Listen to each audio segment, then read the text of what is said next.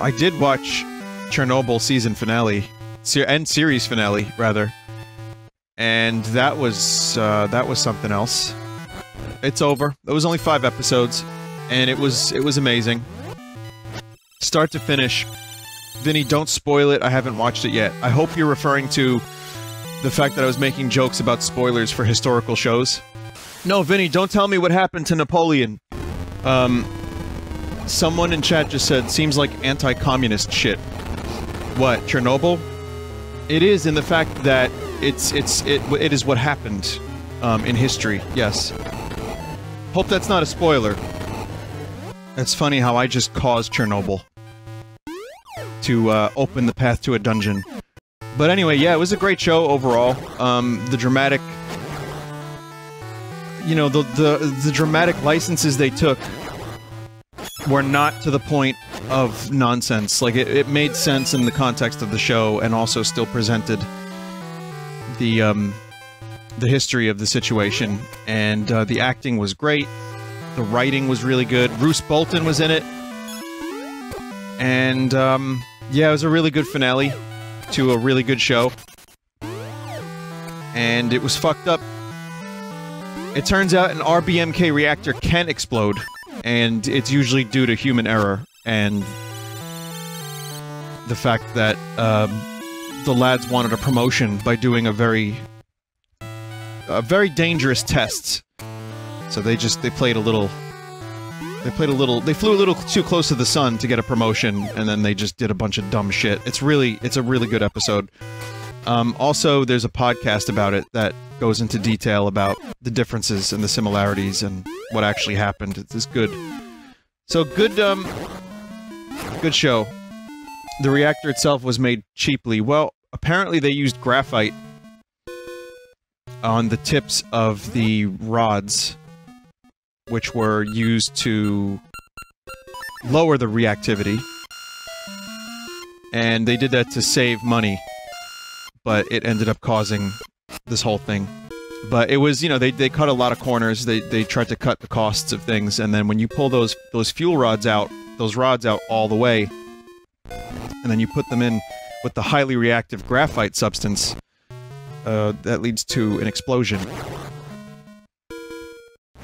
Anyway, I don't know what I'm talking about. I can barely remember what I watched two hours ago, let alone, you know, actual, like, complex information but it it really is um yeah it didn't just happen. Like i think what what i learned was that it didn't just randomly happen because nuclear bad but rather lots of um shortcuts and human error. Vinny did more people die in the show?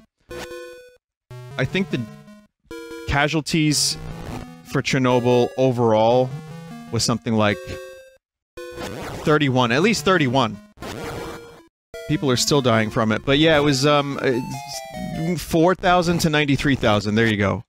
Yeah. So now I have to watch a new show. I'm watching Barry for the time being.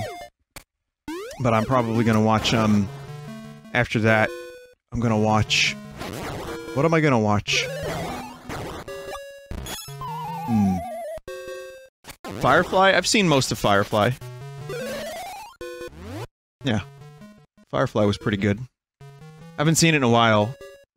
Xena Warrior Princess. I bet that aged well. I bet I bet that show looks real great. What are historically some of the worst TV shows of all time?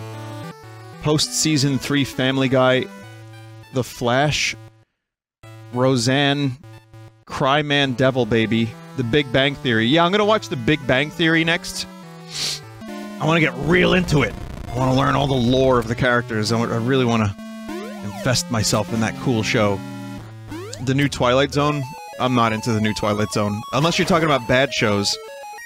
It wasn't even that bad, it was just really mediocre, the episodes I saw. But Black Mirror comes out, so I'll watch that, see what the, you know, technology bad, I know, but it's more than just technology bad. It's usually pretty well written and enter entertaining. In, in my experience with the show, having watched the previous seasons, I liked it. I liked their Star Trek episode, that was good. Favorite classic Twilight Zone episode? To Serve Man. That's the one that comes off uh, the top of my head. I don't know if it's the best one, but I think most people know that one. That and the weird, like, nurses with the fucked up faces. Of course, William Shatner in, um, that one episode. Hi, I'm William Shatner, and this is William Shatner, Shatner, Shatner. Welcome to William Shatner, Shatner. Shatner, Shatner. I mean, you know, the thing about Shatner is he could put his name on anything. And he does. He puts it on everything. William Shatner's Tech War. And it works because people like William Shatner. They know the name, so go with it.